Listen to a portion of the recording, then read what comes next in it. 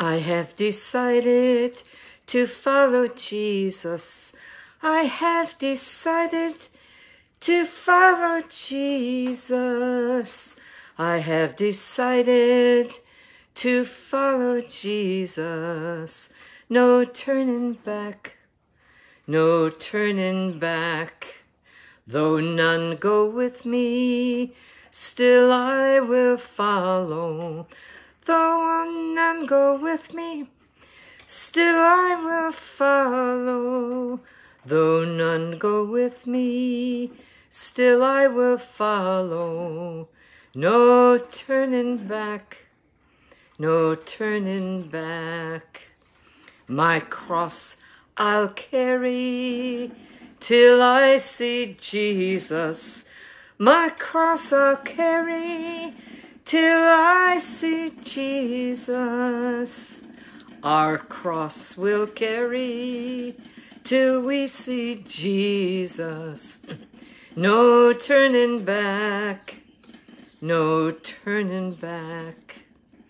The world behind us, the cross before us, the world behind us, the cross before us, the world get behind us, the cross goes before us.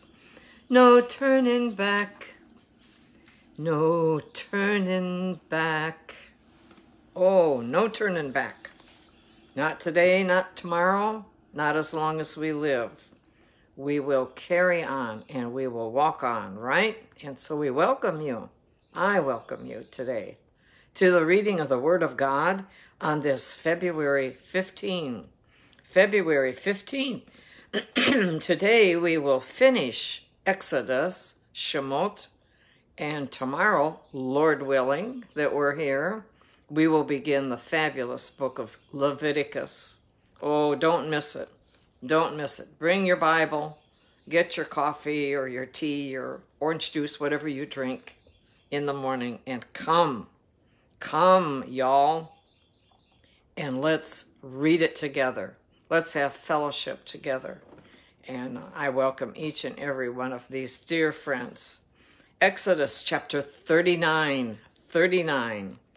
Of the blue, purple, and scarlet thread, they, Bezalel and Aholiab, made garments of ministry for ministering in the holy place, and made the holy garments for Aaron, as the Lord had commanded Moses, Moshe. He made the ephod of gold, blue, purple, and scarlet thread, and of fine woven linen, and they beat the gold into thin sheets. Oh, I would love to see that. I'll bet I I'll bet there's a video we could go to, right? They beat the gold into thin sheets and cut it into threads. Into threads to work it in with the blue, purple, and scarlet thread and the fine linen into artistic designs.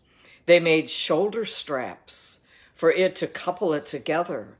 It was coupled together at its two edges, and the intricately woven band of his ephod was on it, was of the same workmanship, woven of gold, blue, purple and scarlet thread, and of fine woven linen, as the Lord had commanded Moses.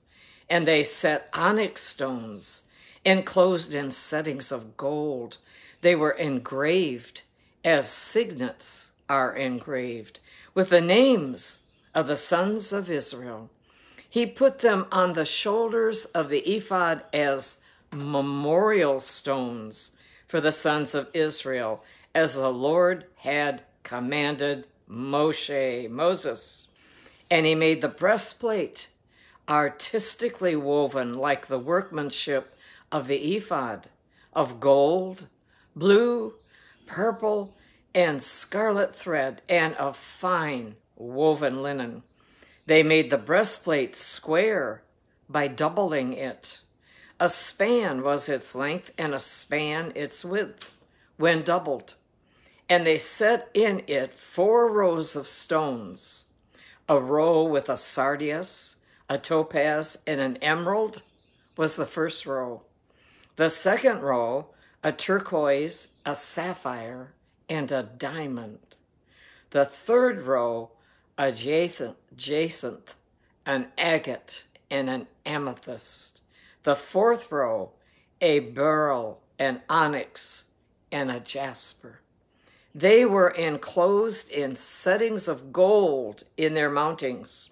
There were 12 stones, according to the names of the sons of Israel, according to their names, engraved like a signet, each one with its own name according to the 12 tribes.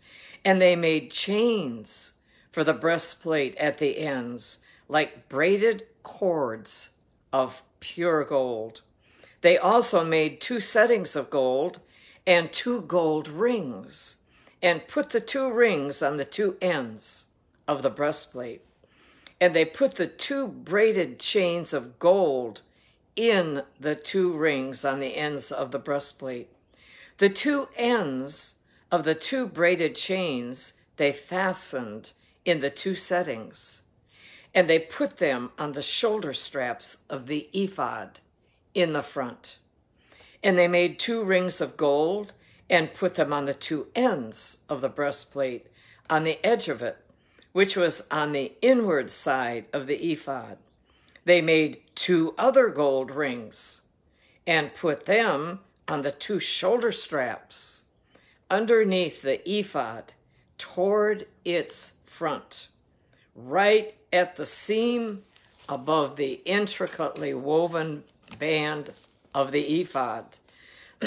and they bound the breastplate by means of its rings to the rings of the ephod with a blue cord, so that it would be above the intricately woven band of the ephod, and that the breastplate would not come loose from the ephod, as the Lord had commanded Moshe. He made the robe of the ephod of woven work, all of blue. And there was an opening in the middle of the robe, like the opening in a coat of mail, with a woven binding all around the opening so that it would not tear. They made on the hem of the robe pomegranates of blue, purple, and scarlet, and of fine woven linen and they made bells of pure gold and put the bells between the pomegranates on the hem of the robe, all around. Between the pomegranates, a bell, and a pomegranate, a bell, a pomegranate, all around the hem of the robe to minister in, as the Lord had commanded Moses, Moshe. They made tunics artistically woven of fine linen for Aaron and his sons, a turban of fine linen, exquisite hats of fine linen, short trousers of fine woven linen, and a sash of fine woven linen with blue, purple, and scarlet thread made by a weaver, as the Lord had commanded Moses. And we know that linen was chosen because it breathes and you don't sweat. That, that was one of the Lord's uh, points of creating all of these garments. No sweating. And then they made the plate of the holy crown of pure gold and wrote on it an inscription like the engraving of a signet and the inscription was holiness to the Lord. And they tied it to it a blue cord to fasten it above the turban, as the Lord had commanded Moses. Thus, all the work of the tabernacle of the tent of meeting was finished. Hallelujah. And the children of Israel did according to all that the Lord had commanded Moses So they did. And they brought the tabernacle to Moses, the tent and all its furnishings, its clasps, its boards, its, its bars, its pillars, and its sockets, the covering of ram skins dyed red, the covering of badger skins, and the veil of the covering, the ark of the testimony with its poles and the mercy seat, the table, all its utensils, and the showbread, the pure gold lampstand with its lamps, the lamps set in order, all its utensils, and the oil for light, the gold altar, the anointing oil, and the sweet incense, the screen for the tabernacle door, the bronze altar, its grate of bronze, its poles, and all its utensils, and the laver with its base, the hangings of the court, its pillars and its sockets, the screen for the court gate, its cords and its pegs, all the utensils for the service of the tabernacle, for the tent of meeting, and the garments of ministry to minister in the holy place, the holy garments for Aaron the priest, and his sons' garments to minister as priests, according to all that the Lord had commanded Moshe. So the children of Israel did all the work. And oh my goodness, aren't you glad to hear of all this obedience? After he called them stiff necked, so many times they turned from him, made other gods, all of that that we have read. Here we are reading, they did all the work. And then Moses looked over all the work, and indeed they had done it. As the Lord had commanded, just so they had done it. And Moses blessed them. Oh, don't you don't you just think how thrilled and grateful he was to be able to bless them and say, You did it. You did what you were supposed to do. And we move right along to chapter 40. So then the Lord spoke to Moses, saying, On the first day of the first month, you shall set up the tabernacle of the tent of meeting. You shall put in it the ark of the testimony and partition off the ark with the veil. You shall bring in the table and arrange the things that are to be set in order on it. And you shall bring in the lampstand and light its lamps. You shall also set the altar of gold for the incense before the ark of the testimony, and put up the screen for the door of the tabernacle. And then you shall set the altar of the burnt offering before the door of the tabernacle of the tent of meeting, and you shall set the laver between the tabernacle of meeting and the altar, and put water in it. Oh, these are detailed instructions, and please go to Kathy's graphics. Uh, she has found wonderful graphics to display for you as closely as we know, right? As closely as we know. All of these articles and the tabernacle. And you shall set the laver between the tabernacle of meeting and the altar and put water in it. You shall set up the court all around and hang up the screen at the court gate. And you shall take the anointing oil and anoint the tabernacle and all that is in it, and you shall hallow it and all its utensils, and it shall be holy. There is the final important ingredient holiness. You shall anoint the altar of the burnt offering and all its utensils, and consecrate the altar the altar shall be most holy, and you shall anoint the laver and its base and consecrate it. And then you shall bring Aaron and his sons to the door of the tabernacle of meeting and wash them with water. You shall put the holy garments on Aaron and anoint him and consecrate him, that he may minister to me as priest. And you shall bring his sons and clothe them with tunics. You shall anoint them as you anointed their father, that they may minister to me as priests. For their anointing shall surely be an everlasting priesthood throughout their generations. How about that? All that they did was to be passed on generation after generation. Thus, Moses did, according to all that the Lord had commanded him.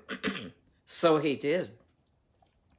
And it came to pass in the first month of the second year, a year has gone by, on the first day of the month, that the tabernacle was raised up. So Moshe raised up the tabernacle, fastened its sockets, set up its boards, put in its bars, and raised up its pillars. And he spread out the tent over the tabernacle and put the covering of the tent on top of it, as the Lord had commanded Moses. He took the testimony and put it into the ark, inserted the poles through the rings of the ark, and put the mercy seat on top of the ark. And he brought the ark into the tabernacle, hung up the veil of the covering, and partitioned off the ark of the testimony, as the Lord had commanded Moshe, Moses. he put the table in the tabernacle of meeting on the north side of the tabernacle outside the veil. And he set the bread in order upon it before the Lord, as the Lord had commanded Moses. He put the lampstand in the tabernacle of meeting, across from the table, on the south side of the tabernacle, and he lit the lamps before the Lord, as the Lord had commanded Moses. He put the gold altar in the tabernacle of meeting in front of the veil, and he burned sweet incense on it, as the Lord had commanded Moses. He hung up the screen at the door of the tabernacle, and he put the altar of burnt offering before the door of the tabernacle of the tent of meeting, and offered upon it the burnt offering and the grain offering, as the Lord had commanded Moses. He set the laver between the tabernacle of meeting and the altar and he put water there for washing. And Moses, Aaron, and his sons would wash their hands and their feet with water from it whenever they went into the tabernacle of meeting and when they came near the altar, they washed as the Lord had commanded Moses and he raised up the court all around the tabernacle and the altar and hung up the screen of the court gate. So, and here, oh, we have come to this grand and glorious sentence. So Moses finished the work. And then, then the cloud covered the tabernacle of meeting, and the glory of the Lord filled the tabernacle. And Moshe was not able to enter the tabernacle of meeting because the cloud rested above it, and the glory of the Lord filled the tabernacle.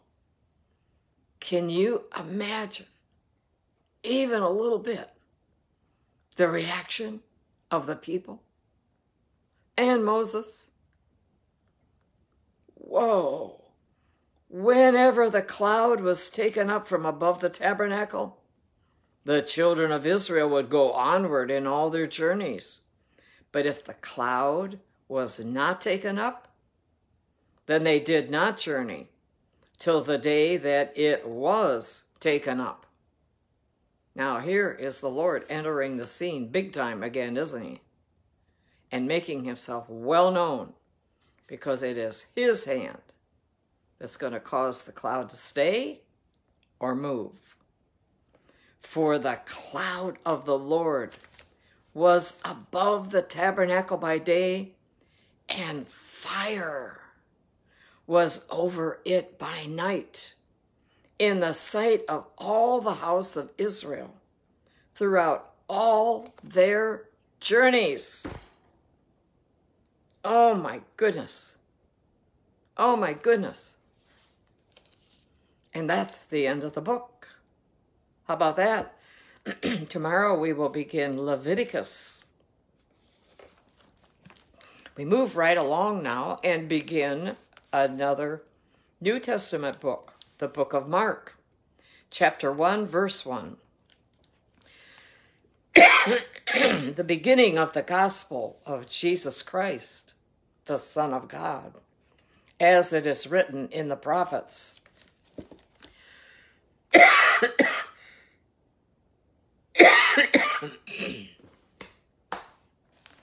Pardon me, one moment.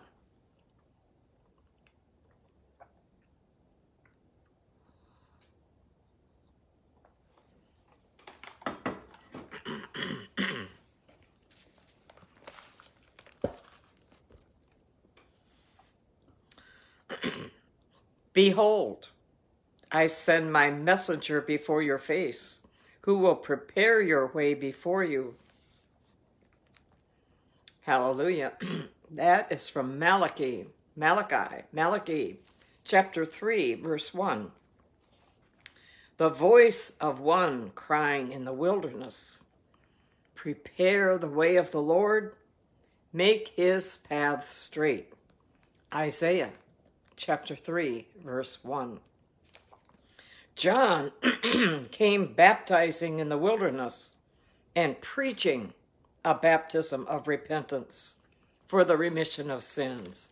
And then all the land of Judea and those from Jerusalem went out to him, and they were all baptized by him in the Jordan River, confessing their sins. Now, John was clothed with camel's hair and with a leather belt around his waist, and he ate locusts and wild honey. and he preached, saying, There comes one, capital O on one, so we know who this is. There comes one after me who is mightier than I, whose sandal strap I am not worthy to stoop down and loose. I indeed baptize you with water, but he will baptize you with the Holy Spirit. Oh, hallelujah to the Lamb. Perhaps the greatest day of my life. Receiving Jesus and being baptized in the Holy Spirit with the evidence that I was. The evidence, we all need the evidence of speaking in tongues. Oh, yes, He will give you a brand new language, your own language. And how do you get all that? you humble yourself and believe, and you receive by faith. You receive by faith, by asking. Please do. Please do. Do not miss this incredible infilling of the Holy Spirit and this new prayer language. When you don't know what to pray for, the Holy Spirit prays in His language through you. and you will see results.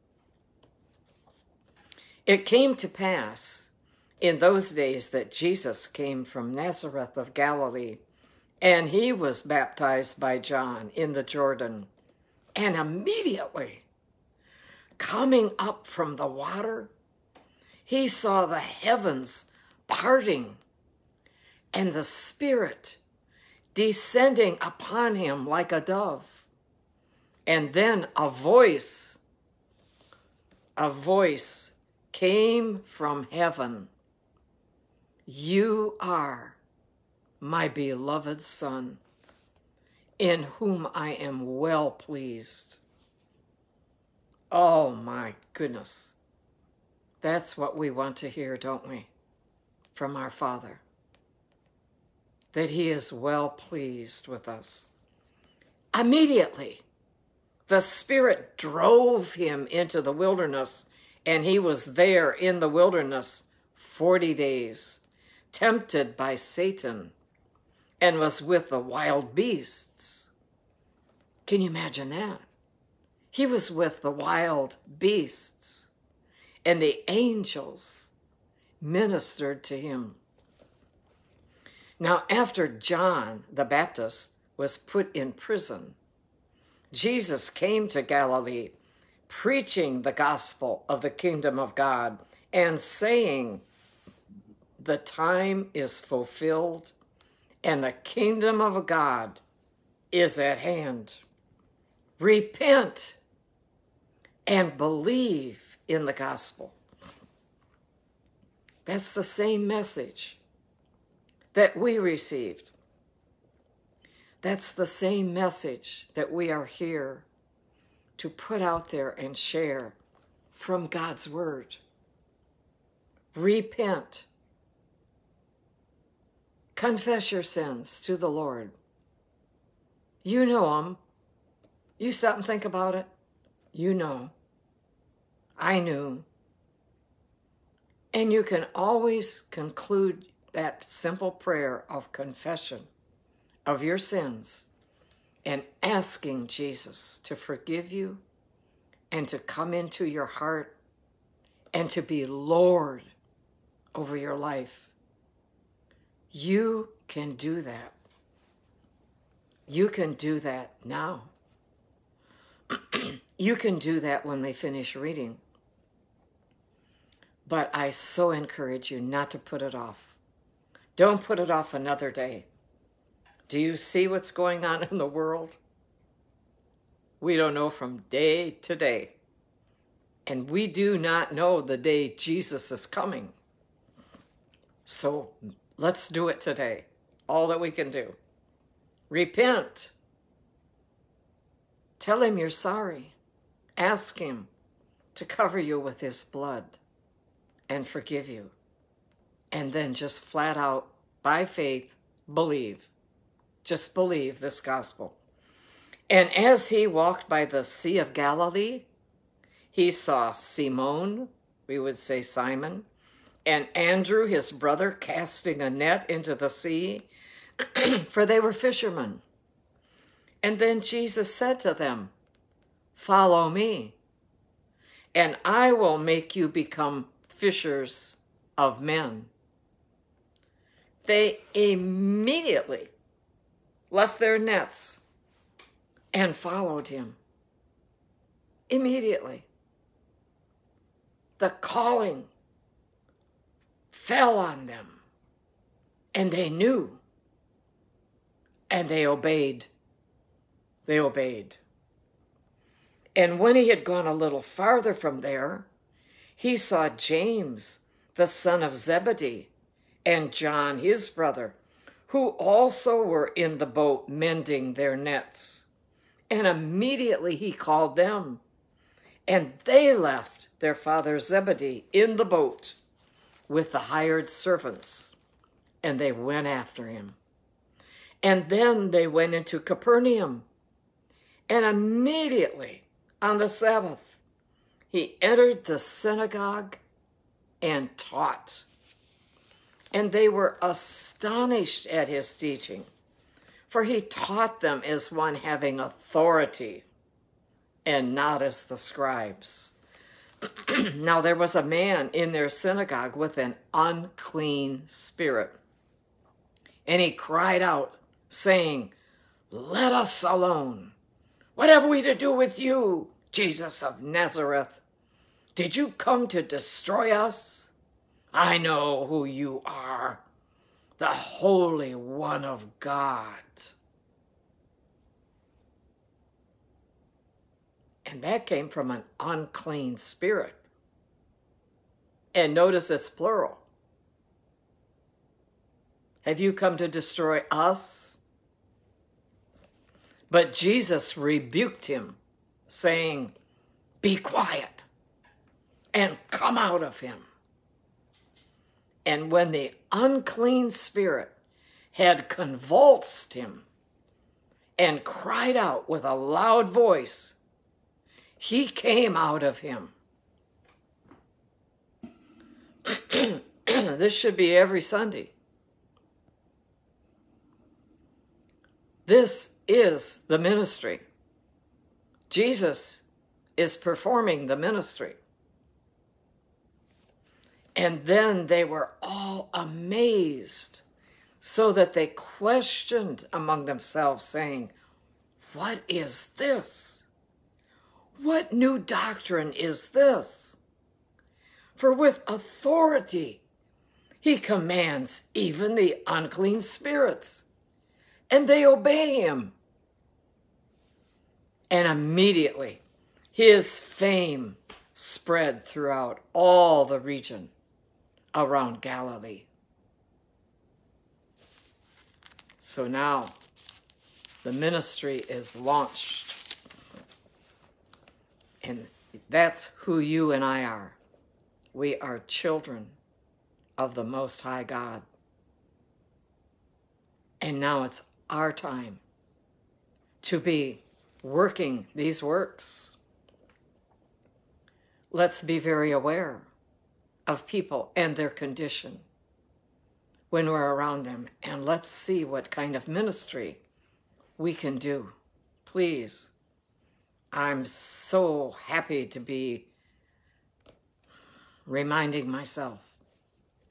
All right, we move right along to Psalm 35. Psalm 35, another Psalm of David. And uh, I like, I wrote down here that, that for me, for me, maybe for you too, this Psalm is a proclamation over the United States of America. That's what it is for me, as well as just God's word for everybody, for every nation and every person. Plead my cause, O Lord, with those who strive with me. Fight against those who fight against me. Take hold of shield and buckler and stand up for my help. Also, draw out the spear and stop those who pursue me. David cries, Say to my soul, I am your salvation. Let those be put to shame and brought to dishonor who seek after my life. Let those be turned back and brought to confusion who plot my hurt. Let them be like chaff before the wind, and let the angel of the Lord chase them. Amen. Let the angel of the Lord chase them. Let their way be dark and slippery, and let the angel of the Lord pursue them. For without cause they have hidden their net for me in a pit, which they have dug without cause for my life. Let destruction come upon him unexpectedly, and let his net that he has hidden catch himself. Into that very destruction, let him fall. And my soul shall be joyful in the Lord. It shall rejoice in his salvation. All my bones shall say, Lord, Who is like you? Delivering the poor from him who is too strong for him. Yes, the poor and the needy from him who plunders him. Fierce witnesses rise up. They ask me things that I do not know. They reward me evil for good to the sorrow of my soul. But as for me, when they were sick, my clothing was sackcloth. I humbled myself with fasting, and my prayer would return to my own heart. I paced about as though he were my friend or brother. I bowed down heavily as one who mourns for his mother. But in my adversity, they rejoiced and gathered together. Attackers gathered against me, and I did not know it. They tore at me and did not cease. With ungodly mockers at feasts, they gnashed at me with their teeth. Wow. David went through some very turbulent days, didn't he? Wondering if he was even going to live through it. And out of that came his intense love and service of every last minute of his life. I have prayed that prayer over President Trump also. All right, we wrap up today with Proverbs chapter 9, verses 11 and 12. Proverbs chapter 9, 11 and 12. We're still talking about wisdom, okay? For by me, wisdom, your days will be multiplied, and years of life will be added to you. If you are wise, you are wise for yourself. And if you scoff, you will bear it alone. Isn't that true? People don't want to hear somebody who's just going to complain and scoff. They kind of leave early their presence and go on their way. Thank you, Lord Jesus.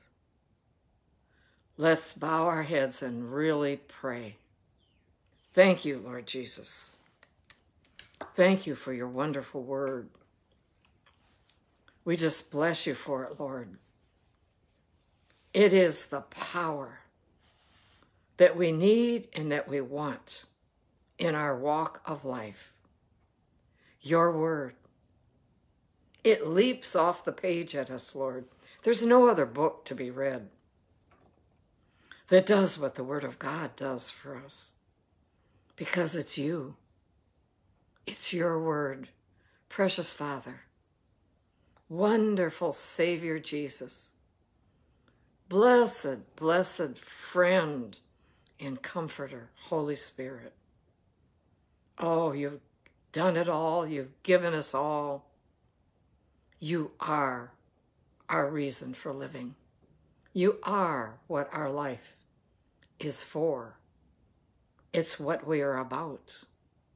Building up the kingdom of God. Sharing and testifying to people. Lord, help us. Holy Spirit, help us to do that. Help us to find someone today to mention Jesus to or to ask them if there's something that we could pray about for them. People are wanting that a whole lot more than we realize.